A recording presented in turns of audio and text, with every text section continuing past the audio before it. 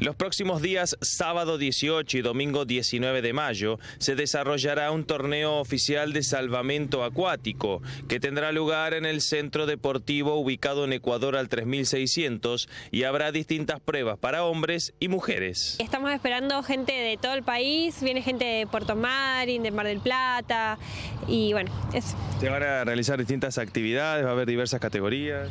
Sí, hay categorías desde niños, jóvenes hasta adultos mayores, nos diferenciamos por etapa, por categorías de a 10 años y competimos mujeres y varones separados. La disciplina del salvamento acuático deportivo lo que emula son competencias, o sea, carreras que emulan eh, rescates de, personas o víctimas, eh, digamos, a causa del, ahogamiento.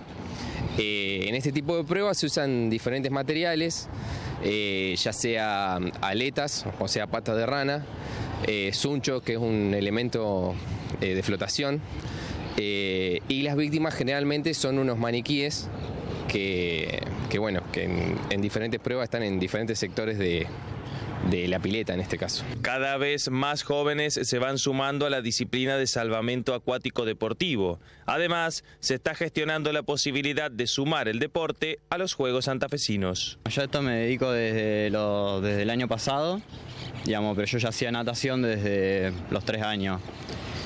La verdad esto lo conocí gracias a un familiar mío y la verdad que me enganchó, me gustó y hasta ahora sigo con esto y espero seguir todavía más años. ¿Qué es lo que te gusta puntualmente del salvamento?